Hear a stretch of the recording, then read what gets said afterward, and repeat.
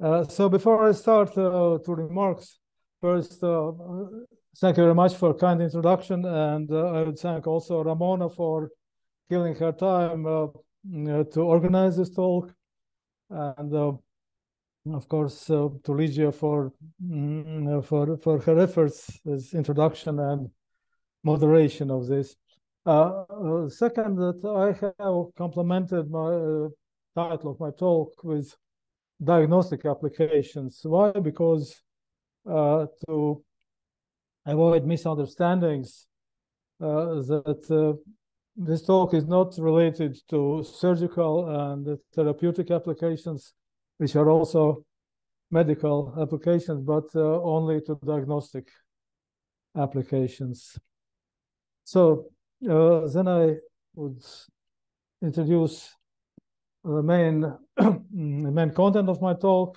First, I will introduce you with my university and uh, our biophotonics lab. And then a few words about RGB lasers, how are they designed and applied. Uh, then uh, some introduction to technology of uh, triple spectral line imaging and mapping of uh, skin chromophores, which we are developing here in Riga. Uh, some descriptions of uh, designs uh, of illumination by several lasers. then I will show designs of several prototypes for local skin diagnostics and also about a prototype for large area skin diagnostics, which is developed right now in a running project. And finally, uh, some information about RGB laser illumination for endoscopy diagnostics. so let me start with my university, it's University of Latvia, uh, which uh, um, has been established uh, back in 1919. Uh, so we have 13 faculties, uh, more than 15,000 students, more than it's about 150 study programs, uh, 17 uh, research institutes and more than 50 research fields. Uh, so our main building, historical building, it was built in 1862.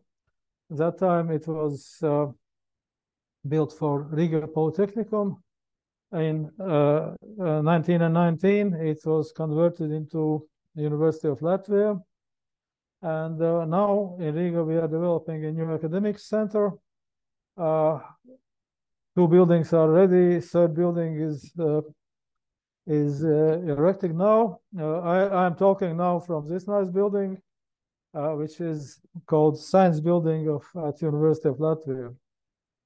so regarding biophotonics lab, uh, so the laboratory was established back in uh, 1997, and uh, our basic uh, focus is uh, to develop uh, non-invasive methods, devices, and technologies for clinical diagnostics and monitoring, which could be affordable for end users by exploiting optical features of in vivo skin. So skin is our main target still now. And we have three main research lines. One is uh, uh, skin autofluorescence studies, uh, which include photobleaching effects, also so-called skin photomemory effect, parametric imaging of photobleaching rates, which have some diagnostic pot potential for for clinical applications, and also picosecond range, range uh, kinetic studies which also mm, allows to estimate emitted photon path lengths directly experimentally. So that's what we can call macro FLIM, uh, fluorescence lifetime imaging. Uh, second research line is uh, related to skin diffuse reflectance spectroscopy. And uh, there are two modalities. One is uh, contact mode, using different fiber optic uh, contact probes, and the other modality is non-contact imaging. And uh, that's exactly the topic of today's talk, uh, multispectral imaging, uh, which uh, is used for skin chromophore mapping and uh, uh, has potential for distant uh, skin assessment. And the third research line is uh, uh, related to photoplethysmography. Uh, this is a technique which mm, which gives possibility to see mm, skin blood pulsations without touching the skin or by touching skin with contact probes. So again, there are two modalities, contact uh, mm, contact approach, where we have developed some new modalities is bilateral, multi-site, and multispectral uh, PPG, which is photoplethysmography. And uh, over the recent 10 years, we are mainly focusing on uh, non-contact uh, photoplethysmography imaging, which has also some nice clinical applications. For example, one is non-contact anesthesiology control. Uh, okay, that was brief introduction. Uh, now, how about RGB lasers, uh, which is topic topic of today's talk? mm, uh, if we go to uh, internet and want to see uh, what is RGB lasers, uh, the first thing we can get we can get a explanation. RGB lasers are show laser systems uh, uh, with exactly three color modules, red, green, and blue. And it does matter if the color sources are uh, DPSS or, OPSL or dyed laser modules or any other laser. But by combining the three colors, uh, we can get white light lasers. So that's the first ex explanation. And uh, mm, the key uh, the key component or key element of such lasers uh, is a laser beam combiner. In fact, there are combined uh, three laser beams, uh, one blue, one green, one red. And usually they, they are beam splitters. Uh, it can be different designs. So one can be like this, that uh, there are three laser modules emitting from from three sides, and then there's a beam splitter, a beam combiner, and output beam comprises all three uh, laser colors. So that's uh, physically it looks like this. But uh, also a very popular design is that uh, there, there, there is a beam splitter when one laser beam is so-called the main laser beam and uh, two other laser beams are just added again by, by beam splitters, but we get output beam which uh, can look white. But uh, usually such systems have also some uh, power adjustment uh, mm, possibilities. It could be manual, could be automatic. Uh, so we can adjust, uh, we can change output power of each color. And in result, in fact, we can get in the laser beam, we can get in practically any color by combining three colors and by uh, adjusting uh, output powers. And uh, there are uh, quite a lot of uh, models uh, now on the market for various applications. and what is maybe most interesting for mm, for mm, applications like ours is that Mm. Output beam is well collimated. It means that it can be nicely coupled into optical fibers. And uh, so there are already several uh, commercial mo uh, models where uh, the fibers are either integrated together with lasers, so it's it's like a pigtail structure, or Mm, or the laser can have uh, a connector uh, that's uh, usually can be SMA, SMA connector uh, just to connect uh, laser output beam uh, to the optical fiber. So this is illustration right here, how it looks like. And so you see this mm, laser module can be can be adjusted. So there are three buttons, uh, one for each color. So you can just change uh, powers and change the output color. Uh, of course, it's interesting for all kinds of uh, displays, uh, color TV, uh, mm, laser shows, and so on. but our application is mm, a little bit other. So our initial interest was uh, to uh, to find or to have some uh, illumination source which comprises only three spectral lines. so one could be in, in, in, the blue region, one could be in green, one, one could be in red, but we don't care what kind of uh, light source it is. Uh, and why we need that, uh, we are developing mm, multispectral imaging modality, which is called, uh, we can call it multi-spectral line imaging, or uh, in this case, triple spectral line imaging, uh, where uh, this kind of uh, illumination, like RGB laser illumination, is very useful. So the basic idea is that uh, usually when we talk about spectral imaging, uh, so we have devices uh, uh of uh, hyperspectral imaging or for multispectral imaging, but usually uh, the imaging is performed in frame of some spectral band. And the bandwidth usually is um, about 10, 20 nanometers, sometimes it is more, but usually it's not less than 10 nanometers, the bandwidth. which means that uh, it, depend, uh, it uh, determines spectral se selectivity of imaging. And this selectivity could be improved if we are just squeezing the uh, line, the bandwidth uh, down to single spectral line.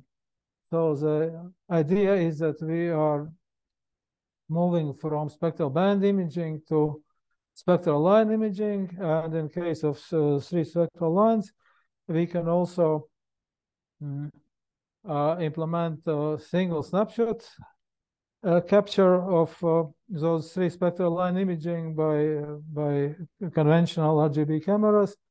And there are three clear benefits. Uh, so one is uh, spectral selectivity. so, so it means that it could be increased for, increased for about two orders of magnitude down to less than 0.1 nanometer. The second is that uh, imaging quality uh, is improved by a single snapshot because uh, when we talk about uh, in vivo tissues, uh, they usually move. So we are breathing, so we can move and and in uh, conventional conventional spectral imaging devices, when the spectral images are taken one by one sequentially, it takes time, and uh, during that time, actually, there could be some movements which uh, mm, blur the image. So with single snapshots, so we can avoid this effect. And third uh, advantage is that uh, it's much simpler and much faster to process uh, spectral images because then we don't have to uh, integrate uh, over the uh, spectral band of illumination but we have just number of, of the wavelengths, so numbers instead of integrals of the wavelength band. So this idea was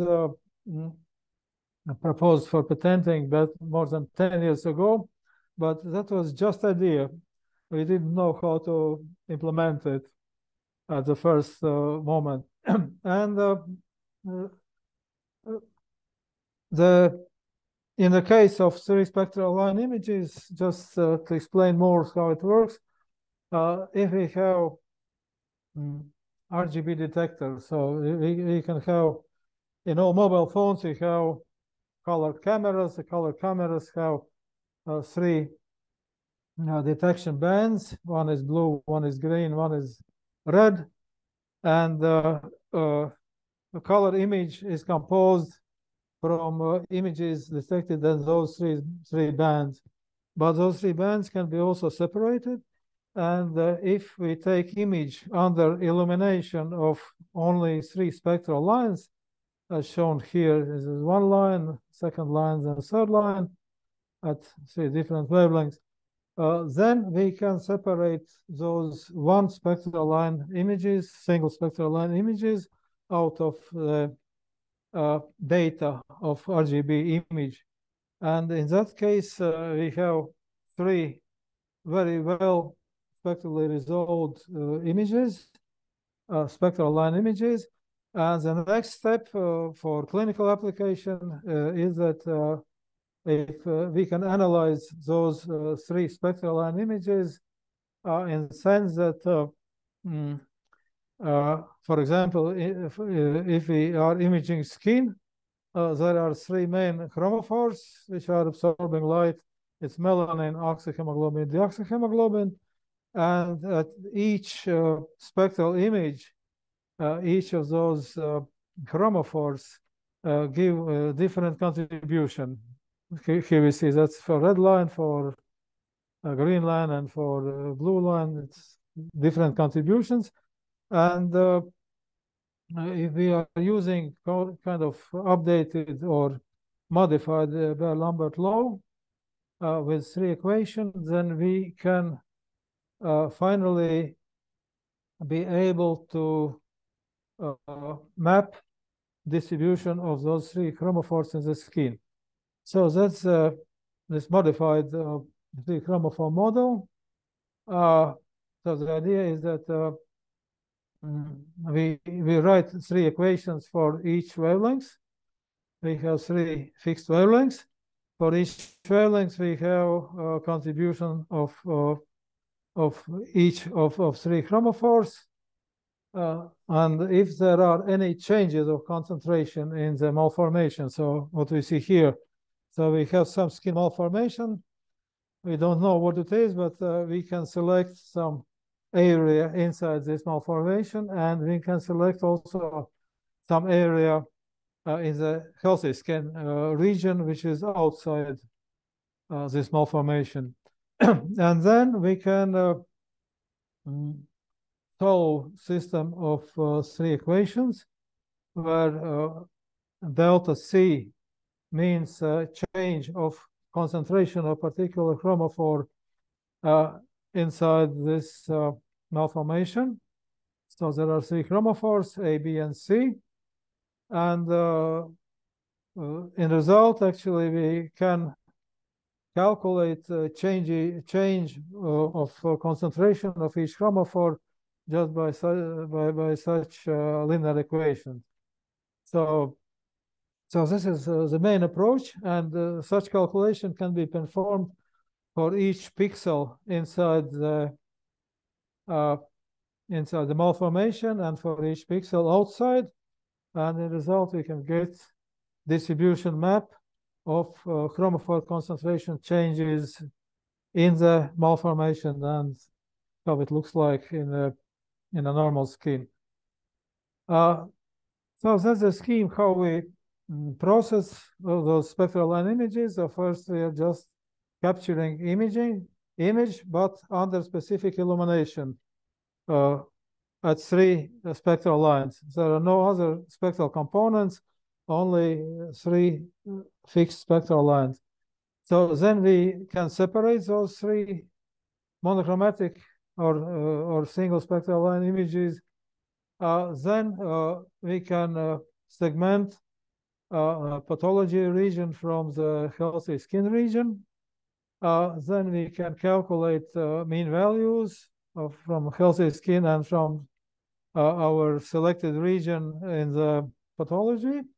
And finally, we can calculate distribution maps of uh, three chromophores in frame of our model. Of course, there are more than three chromophores in skin, but those three are as main chromophores. It's melanin, oxyhemoglobin, deoxyhemoglobin. So we can uh, calculate and result uh, distribution map, how those chromophore concentrations have, have changed inside the pathology we are looking at. So that's the main principle how we are working for that.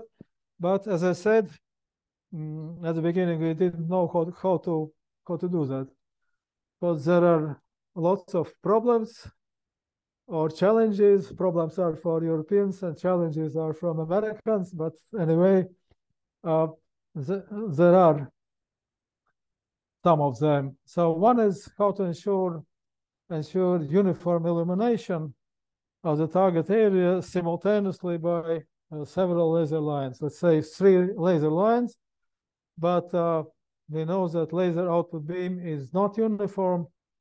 So there is some distribution, uh, uh mm, and it's it's not uh, easy task to get uniform illumination simultaneously by all three laser lines or even more laser lines.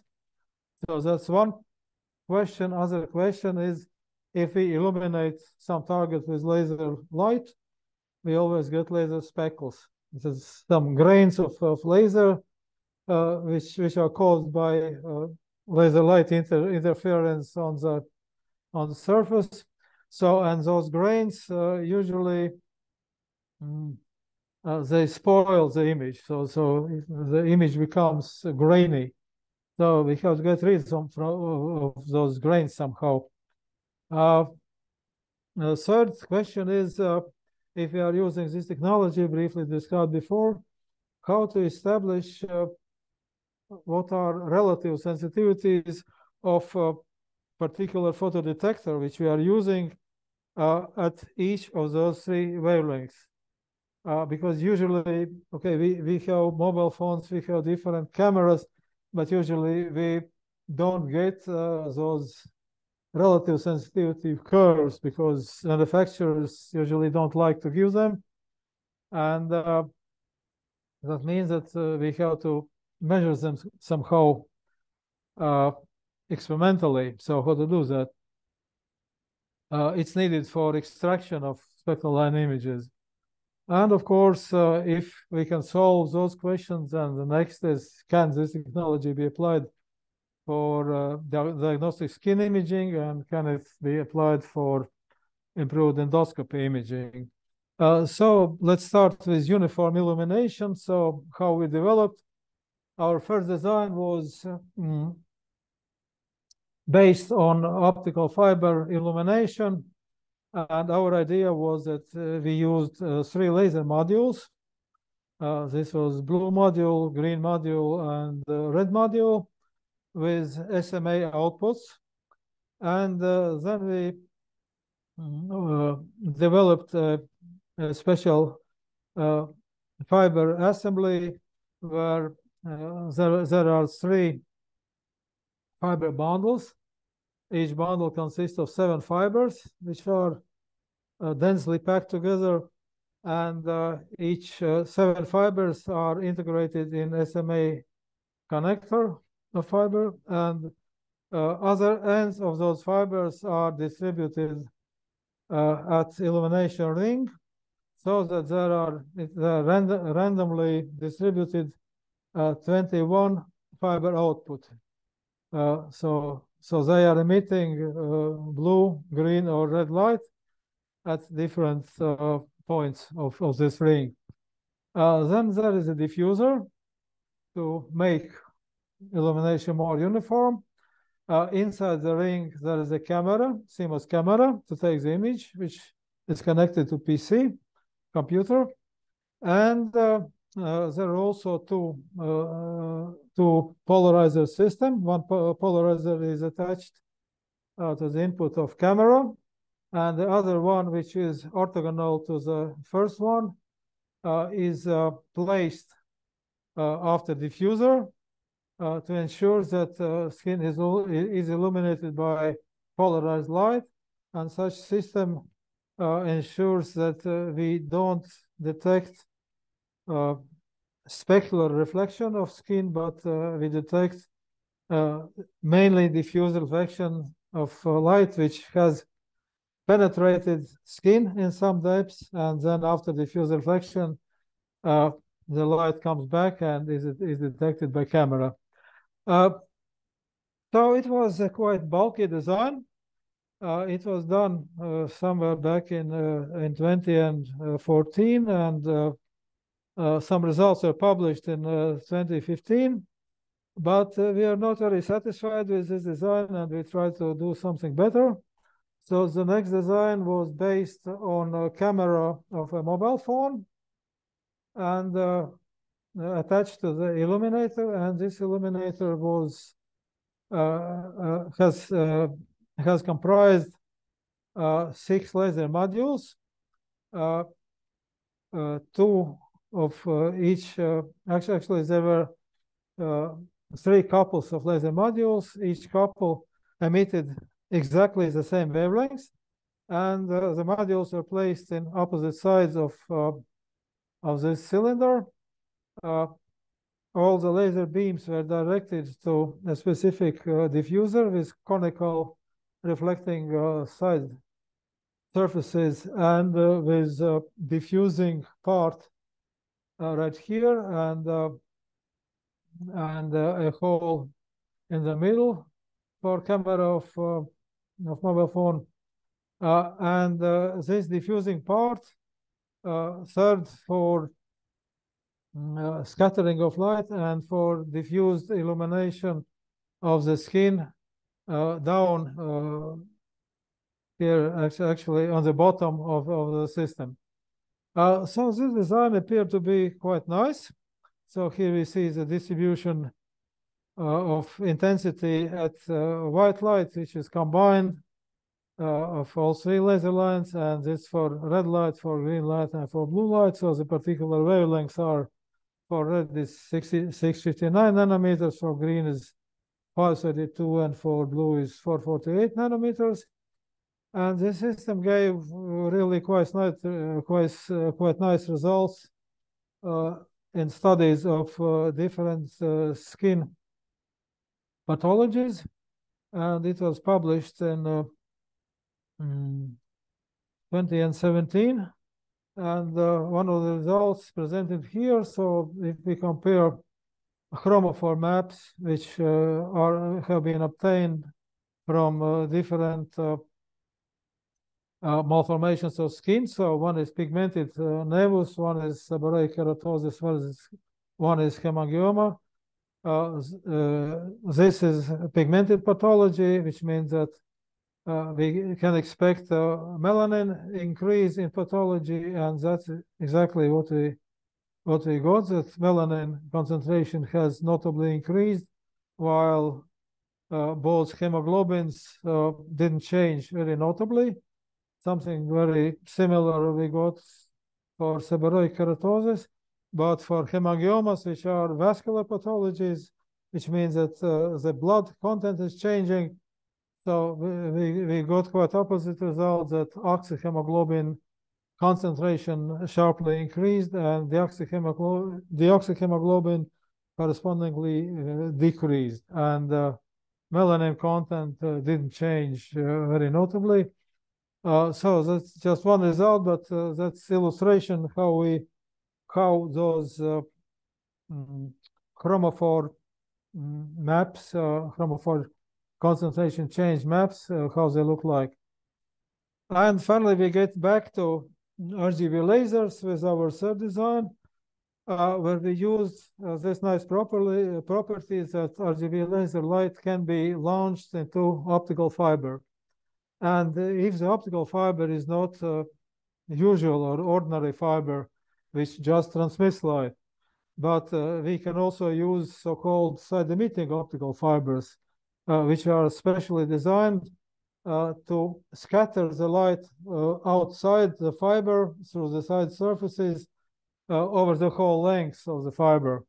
So they, they are, they are so-called side-emitting optical fibers, and we developed silica core side-emitting fibers back in 1995 it was patented, uh, so they, they were and they can be still produced in Latvia in our, manufacturing facility.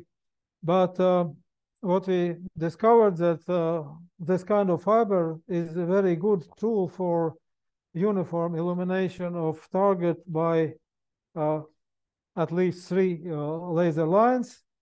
It means that if you have RGB laser launched into such optical side emitting fiber, we can get very nice, very uniform illumination uh, simultaneously by all three laser lines. And that's exactly what, what we needed. Uh, yeah, so this device was also uh, patented in, in our local. There's a local Latvian patent, but it can be can be expanded to other to other patents. So, and this kind of design was uh, mm, implemented in uh, one of our prototype devices. We have developed several of them, but uh, uh this device uh, actually was one step ahead. Uh, after after three spectral line imaging, we tried possibility of four spectral line imaging by using a, spe a special uh, four band uh, mm, mm, camera, very advanced camera. And uh, then correspondingly, we could use four uh, laser lines for illumination. So in addition to three RGB lines, we added also 850 line from uh, mm, near infrared laser and uh, also in this design for illumination, uh, there are four um, laser, diode, laser diodes emitting 405 or violet light uh, to excite uh, autofluorescence of skin. So all this is detected by camera. So, and we tried to make as compact design as possible to get uh, this kind of uh, four spectral line imaging plus uh, autofluorescence uh, image. So all, the result, we get five images of skin malformation to analyze, which contains uh, really rich information for clinicians. Uh, so that's uh, how this device uh, looks like. So this is mm, this will show what's inside. so we see this is this four band camera so here we see optical fibers. This is side, side emitting optical fiber, and the emitting spiral is down here. So the fiber from one end is connected to RGB laser module, which is quite small, there's a few centimeters. And uh, at the other end, it, it is connected to 850 nanometer near infrared uh, laser. So in result, this side emitting fiber emits simultaneously four spectral lines uh, to uh, our target area, which is usually skin. And uh, we can detect four spectral line images, plus we can detect autofluorescence image. And then this set of five specific images can be further analyzed uh, for uh, diagnostic or diagnostics. So it's just one example and uh, what's more specific, actually, to pay attention that uh, autofluorescence of seborrheic keratosis at uh, 4 or 5 nanometer excitation. Uh, so seborrheic keratosis uh, is fluorescing very, very brightly, while uh, hemangiomas and dermal nevus, they are not fluorescing, they are just absorbing. So that's the way how to uh, recognize seborrheic keratosis and how not to misdiagnose, misdiagnose it uh, with melanoma. So unfortunately, we had uh, very few uh, clinical trials because it was during uh, COVID time and uh, our uh, our project actually we were intending to have wide clinical measurements with the device, but during COVID times there were restriction to to access to hospitals and uh, and after that our project finished. So the number of uh, clinical cases is not high but at least uh, we we got confirmation that uh, the device is working proper, properly. So and uh, concerning two other challenges challenges how to remove speckles at uh, spectral images and how about relative photosensitivities? So the first challenge was mm, solved so that we are using a vibrating element in the illumination path. It doesn't matter, is it uh, kind of reflect, reflecting uh, mm, illumination path or it is uh, side emitting fiber where illumination goes out of the fiber. So if we are trembling those elements somehow, uh, so vibrating with a, with a period which is, uh, let's say, five times smaller than the exposure time of, uh, of our imaging, which means that during expo exposure time, so there will be at least five vibrations. And during those vibrations, actually, those speckle patterns are kind of smeared. So, and as a recorded spectral image, uh, practically, we practically don't see uh, grains which are uh, which are just spoiling the image. So that's that was one successful approach. Another one was uh, how to detect uh, relative photosensitivities. Again, we found a solution and also patented it. The idea was that uh, we are just using white refer reference. It could be just white white paper we illuminate the reference uh, from RGB laser via normal light guide, transmitting light guide. And uh, we can uh, switch on and switch or switch off each of the three spectral lines. then camera is taking pictures of this illumina illumination spot at each wavelength. And uh, as a light guide outputs, uh, we are measuring powers of each wavelength and finally, uh, combining all these results, we can say what are uh, relative uh, spectral sensitivities at our selected wavelength.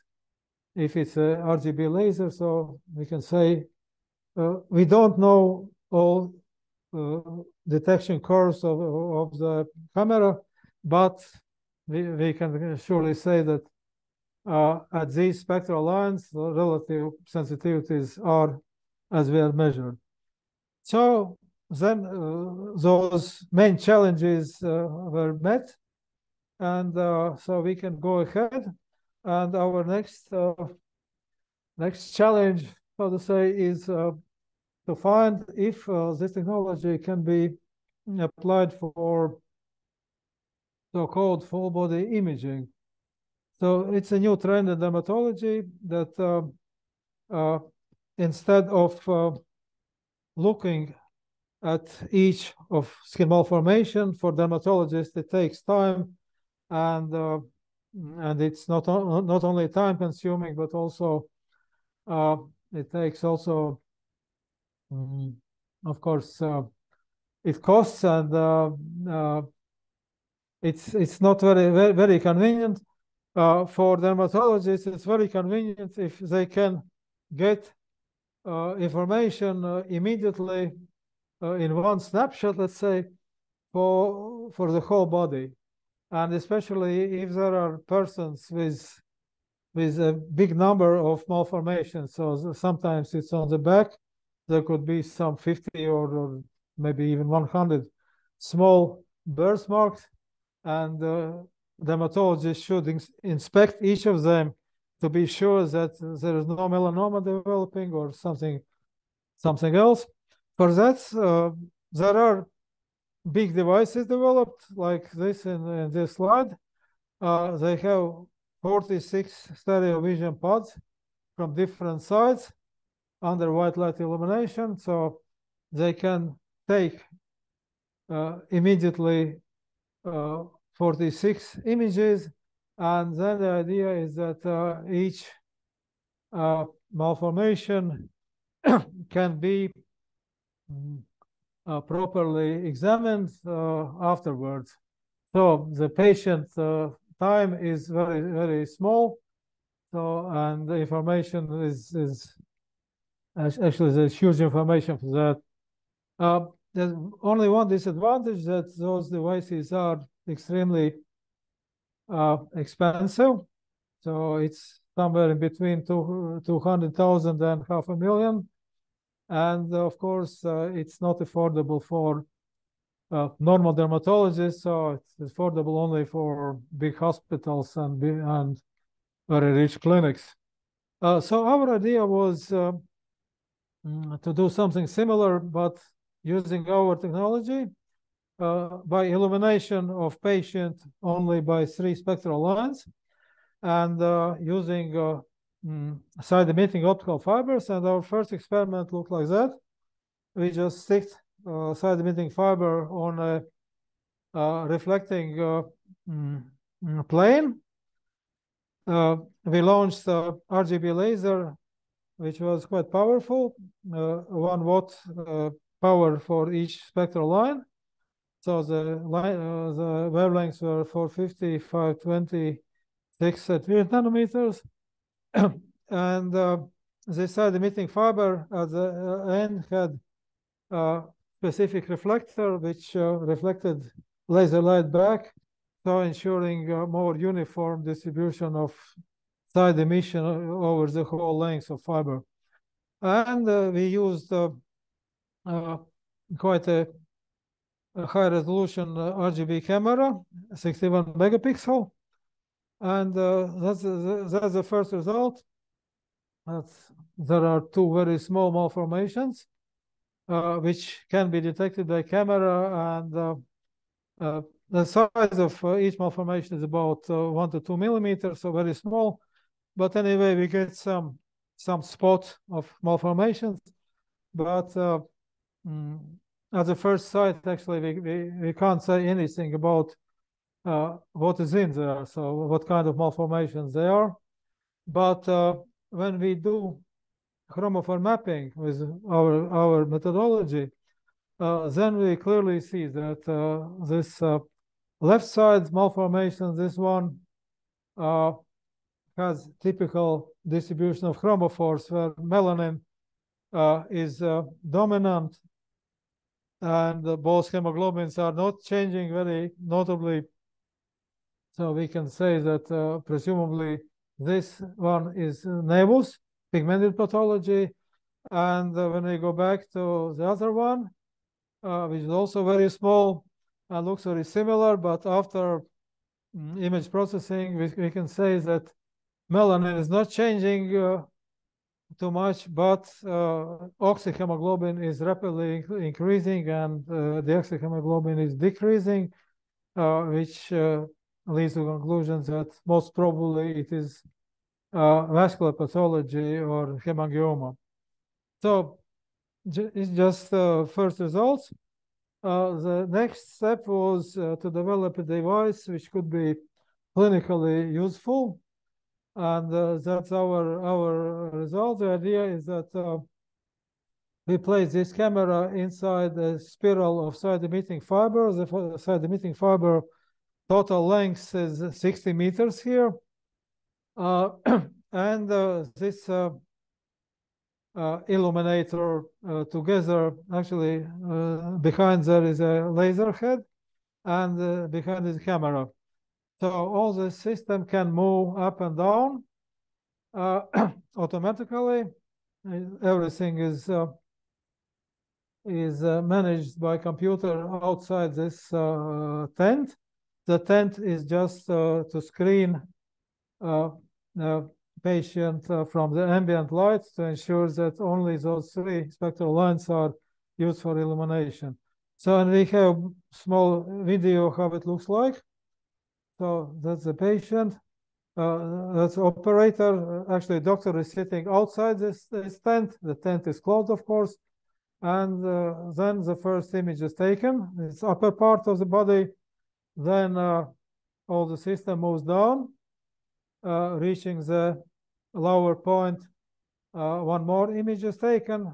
So the first image is for upper part of the body, fr front part of the body. Second image is from the front part of uh front part of the bottom part of the body. Uh, then patient uh, turns around for eight for 180 degrees, and two more images are taken uh, of the upper part of the back and upper part of the legs. So that's also kind of modification of full, bo full body imaging. Altogether, it takes about one minute, not too long. It's affordable per patient. So, and uh, at the moment we are uh, we are starting uh, mm, clinical measurements uh, so we are still waiting for ethical approval. So there are there is some discussion, but I think that in the next few weeks we will start uh, real measurements with this device. So our feeling is that everything is running. So we just have to collect results and try try to understand uh, how how good or how bad they are. Uh, then uh, going to endoscopy, we also uh, moved to a new field. So so far we have studied only skin, but now we are also moving to studies of mucosa uh, by mm, endoscopic imaging. Uh, so, and the main idea is uh, to replace uh, usual illumination uh, in endoscopy, which is some kind of white light source. It could be xenon lamp or it could be some uh, powerful LEDs, but white LEDs. It's usually just white light. to replace this conventional white light with a three spectral line illumination, which uh, in combination also gives a white light. So for doctor, it's more or less the same which kind of illumination it is. But uh, if we uh, detect uh, the images by cameras, the camera is uh, placed here, so it's not shown now. Uh, then at such three spectral line illumination, we can uh, get definitely much more information about uh, mucosa and uh, di different pathologies of mucosa. So, so what we what we use in this case, we use a smaller power RGB laser, so it's 100 milliwatt for each spectral line, and it's adjustable. So uh, typically is light emission at uh, emission power at the output of endoscope uh, is typically about 2 milliwatt for all three lines together. So we concluded that it is much less than than uh, mm, illumination created by standard illumination sources of the endoscope. Uh, actually, we measure this illumination uh, so it was 5,600 lux at 10 millimeter distance. Uh, and uh, again, so we are now starting uh, clinical trials with such equipment. Uh, we have mm, a partner clinic which are very interested to start such uh, kind of uh, measurements. Mm, again, we are in the stage of ethical protocol.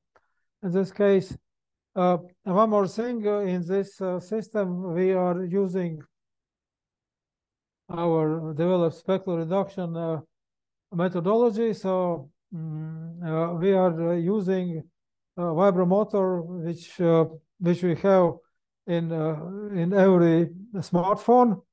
This vibromotor, um, in our case, it was vibrating with 100 100 hertz frequency. And uh, so there are two images. One is for when uh, nothing nothing is done, and on the right side we see uh, how the image looks when when we uh, are using this uh, mm, vibromotor. So so we see the laser speckles are just disappearing. Uh, so that's briefly our first steps in uh, our new project, the next steps are for endoscopy. Actually, we have to make sure about all the safety aspects uh, for mucosa. And uh, it's it's a topic uh, really not easy to find, but but we hope that we will get some laser laser safety limits for mucosa.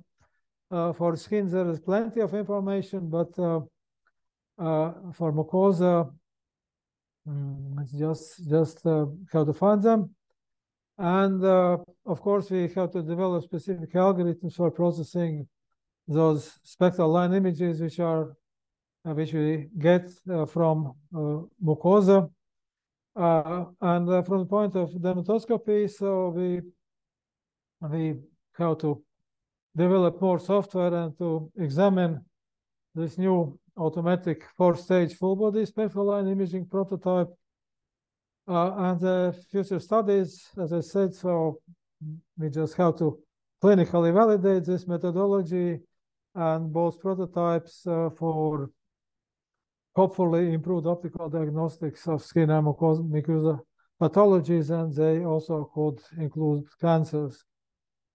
Uh, so to summarize my talk, so this uh, triple spectral line, triple laser line imaging technology was proposed and developed for improved diagnostics in dermatology endoscopy.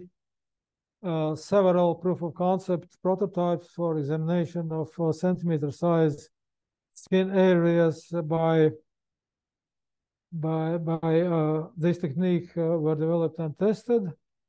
So recently, two RGB laser systems have been exploited for three wavelengths illumination at uh, 450 by 2638 nanometer uh, illumination. So one is uh, high power, uh, one watt each uh, channel, and the other one is lower power, 100 milliwatt maximum power for each channel, but it can be lowered down to a few milliwatts. Uh, and so viability of this approach for large area skin imaging with subsequent map mapping of uh, chromophore content changes uh, um, was confirmed. So, and uh, so looks like we are able to distinguish between pigmented and vascular lesions by our image processing and the prototype setup has been mounted and uh, laboratory tested. Uh, next, the functioning RGB endoscopy setup comprising RGB laser vibromotor for specular removal, uh, removal vibro endoscope and color photo camera has been assembled. So further studies are in, pro in progress. So this project runs until November next year, and some recent results have been published. So you can find them in, in this paper. Uh, okay, thanks. That's it for my talk. I, I would acknowledge uh, support of the project uh, funded by Latvian Council of Science. So that's the name of the project. And uh, thank you for attention. Thank you.